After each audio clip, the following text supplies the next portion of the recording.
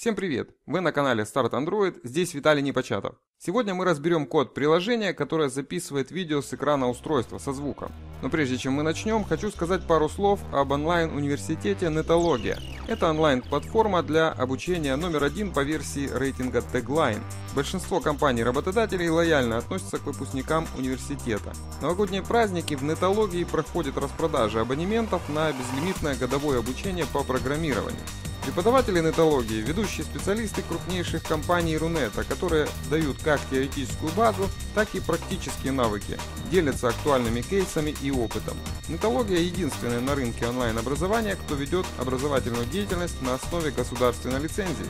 И специально для вас, уважаемые подписчики канала Start Android, Нетология дарит промокод на 2000 рублей на все онлайн-программы по программированию. Промокод и ссылка на программы обучения в описании видео. А теперь к теме урока. До Android 5.0 приложение для записи видео с экрана мобильного устройства требовало root доступ и не гарантировало нормальную работу на устройствах разных производителей. Но все изменилось в API 21. Здесь появился класс Media Projection, который предоставляет доступ для записи видео с экрана или звука с аудиосистемы. Давайте рассмотрим код приложения для записи видео с экрана устройства. Макет экрана содержит одну кнопку для старта и остановки записи. Перейдем к коду. В главном пакете видим три класса. Класс Record Application, класс Main Activity и класс Record Service. Рассмотрим класс Record Application. Он унаследован от класса Application. Согласно документации, класс Application или его наследник инициализируется перед любым другим классом, когда создается процесс приложения. Его вызов происходит в манифесте в секции Application в строке Android Name. Здесь вызывается метод StartService, который запускает сервис RecordService при старте приложения. Класс RecordService унаследован от класса Service. О том, что такое сервисы, подробно можно узнать из видеоуроков на нашем канале, начиная с урока 92, ссылка под видео. Если в двух словах, сервис – это некая задача, которая работает в фоне и не использует пользовательский интерфейс. Поскольку нам нужно записывать все, что происходит на экране, независимо от того, какое приложение запущено, Поэтому мы и будем использовать сервис. Здесь объявлены переменные классов. Media Projection – это токен, предоставляющий приложению возможность захватить содержимое экрана и или записывать аудиосистемы. Media Recorder – класс, который используется для записи аудио и видео. Virtual Display представляет собой виртуальный экран, содержимое которого рендерится в Surface, который мы передаем методу createVirtualDisplay. О том, что такое Surface, мы говорим в уроке 132. Если в двух словах, то это компонент, на который выводится изображение. Объявляем еще несколько переменных, логическую running, которую будем присваивать true в процессе записи. Далее параметры виртуального экрана, разрешение установим, а плотность пока не указываем. Далее идет метод onBind с типом iBinder, который позволяет приложению подключиться к сервису и взаимодействовать с ним через возвращаемый объект RecordBinder. Подробнее об этом в уроке 97. Теперь методы жизненного цикла сервиса. Метод onStartCommand срабатывает при старте сервиса методом startService, который вызывается в классе RecordApplication. Он возвращает флаг startSticky. Это означает, что сервис будет перезапущен, если будет убит системой. В методе onCreate, который вызывается в начале работы сервиса, создаем отдельный поток ServiceThread с использованием класса HandlerThread. Это вспомогательный класс для запуска нового потока, который имеет лупер, который может использоваться для создания обработчиков классов. На вход передаем произвольное имя потока и флаг Thread Priority Background, стандартный приоритет фоновых потоков. Далее мы стартуем поток, сбрасываем значение переменной running и создаем медиарекордер.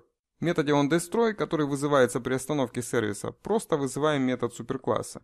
Метод setMediaProject будет вызываться в MainActivity и передавать объект MediaProjection. Далее getter для переменной running. Метод setConfig устанавливает параметры виртуального экрана. В методе startRecord мы проверяем, если объект MediaProjection не существует и переменная running имеет значение true, то возвращаем false. Вызываем здесь методы initRecorder и createVirtualDisplay, которые рассмотрим позже. Стартуем запись вызовом MediaRecorderStart. Присваиваем переменной running значение true и возвращаем true. Метод stopRecord выполняет обратные операции, останавливает запись и перезапускает медиарекордер в состоянии ожидания. Освобождаем Virtual Display и останавливаем Media Projection. Теперь метод create virtual display, который вызывается выше в методе startRecord. Здесь выполняется создание виртуального экрана через метод media projection create которому передается произвольное имя дисплея, его параметры, флаг virtual display flag auto mirror, который позволяет отразить содержимое приватного дисплея, если его содержимое не отображается, и surface. Теперь в методе initRecorder, который вызывается выше в методе startRecord, работаем с объектом MediaRecorder. Метод setAudioSource устанавливает источник звука, используемый для записи. SetVideoSource задает источник видео, который будет использоваться для записи. SetOutputFormat устанавливает формат получаемого файла записи. SetOutputFile устанавливает целевое местоположение и имя файла записи. SetVideoSize устанавливает размер видео. SetVideoEncoder определяет кодировщик видео. SetAudioEncoder определяет кодировщик аудио. Set Video Encoding Bitrate устанавливает битрейт файла записи. Здесь жестко прописано постоянное значение, равное 5 мегабит. Set Video Frame Rate задает частоту кадров. Здесь установлено 30 кадров в секунду. Метод Prepare подготавливает медиарекордер для записи и кодирования данных. Выполняем его в блоке try-catch с перехватом ошибки IOException. Далее в методе getSaveDirectory задаем путь для сохранения файла записи и показываем тост об этом пользователю. Ниже здесь создаем внутренний класс RecordBinder. Это биндер для связи и взаимодействия с сервисом в приложении. В классе MainActivity Java объявлены константы request код с произвольными значениями. Эти константы используются в интентах и запросах разрешений, чтобы отличать друг от друга пришедшие результаты. Подробнее об этом смотрите урок 30. Далее объявляем переменные классов Media Projection Manager. Он управляет получением определенных типов токенов Media Projection. Media Projection вы уже знаете. Это токен, предоставляющий приложению возможность захватить содержимое экрана или аудио. Также объявляем экземпляр нашего сервиса Record Service и обычную кнопку. В методе onCreate получаем экземпляр Media Projection Manager для управления сессиями отображения медиаданных.